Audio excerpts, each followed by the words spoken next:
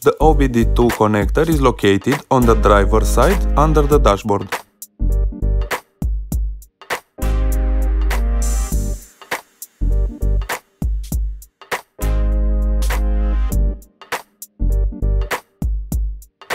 The fuses box is located on the passenger side behind the glove box.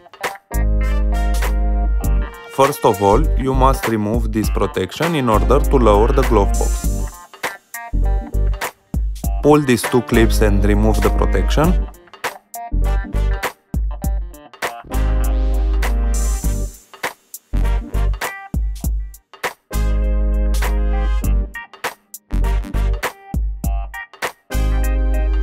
Open the glove box. Now you can undo these two stoppers.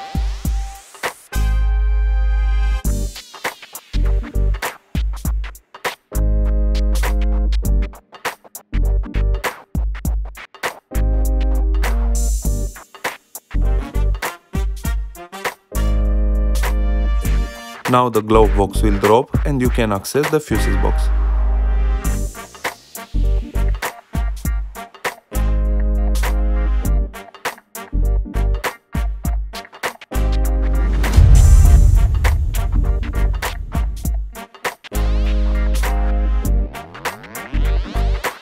After you change the fuse, put the glove box into position and install the stoppers in place.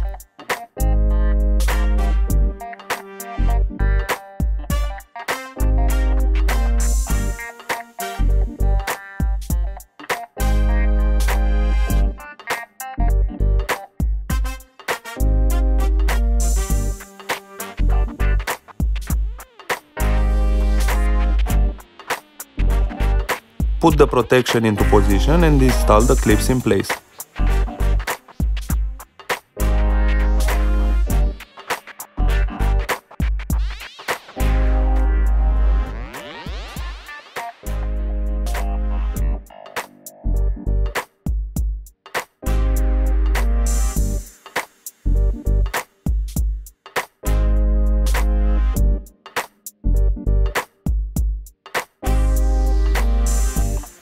Thank you for watching. If it was useful, don't forget to hit like and subscribe buttons. For any questions, you can leave a comment and I will try to answer all of you.